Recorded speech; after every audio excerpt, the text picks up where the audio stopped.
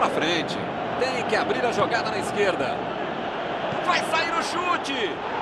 Gol! Fica difícil apostar contra esses caras. Olha a força de vontade desse time.